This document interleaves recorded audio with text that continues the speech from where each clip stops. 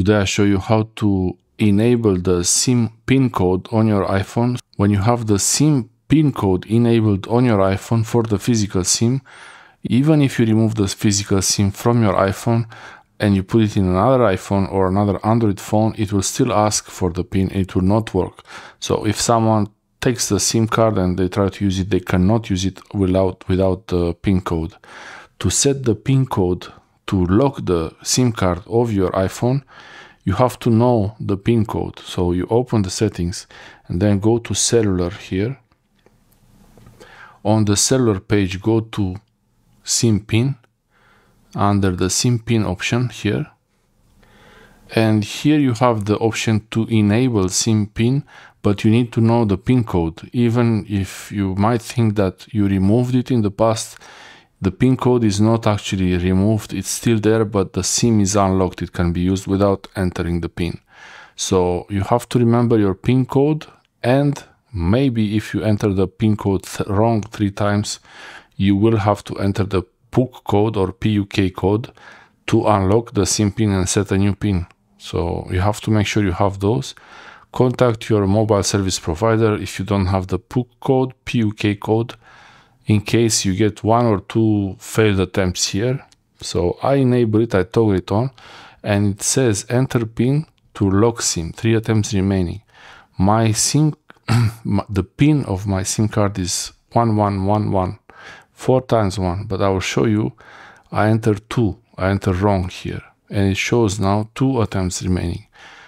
If you do this one more time, it's okay. But a third time will lock the SIM card. So you want to make sure that you stop there before the third one. Get the PUK code and then you can continue to try it.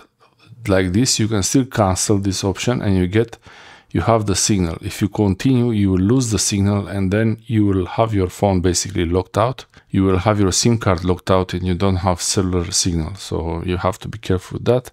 And now I enter the correct I entered the correct pin code now and it should show now, it should show that it's uh, disabled, switching to enabled.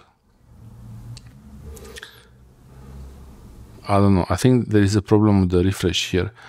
iOS 18.5, iPhone 16 Pro Max, it doesn't show there, but if I go, if I go forward and back, it's okay. So it has a refresh problem. Now the SIM pin is enabled and I will show you what happens. I will show you what happens now. So I will restart my iPhone.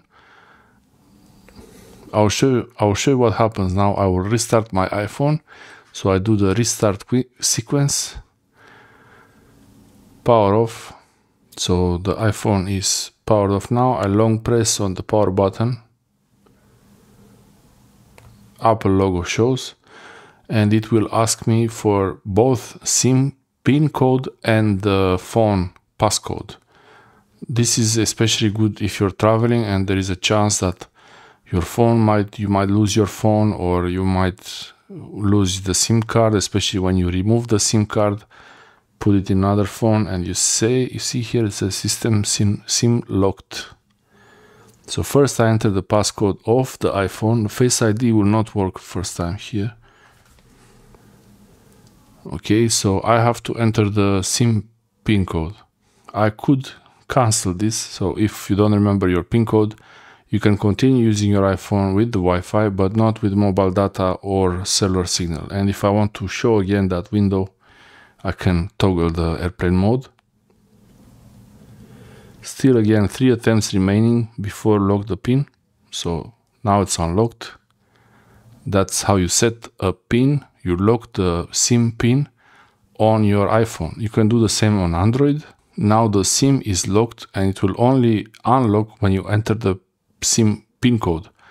When you when you restart your iPhone. When you restart your iPhone, you have to enter this code again. But if you're just locking your iPhone and you use Face ID to unlock it, it will not have to do that. It's only when you restart the iPhone. Thanks for watching. I hope this helps you. Let me know if you have any questions. I hope this helps you. Thanks for watching.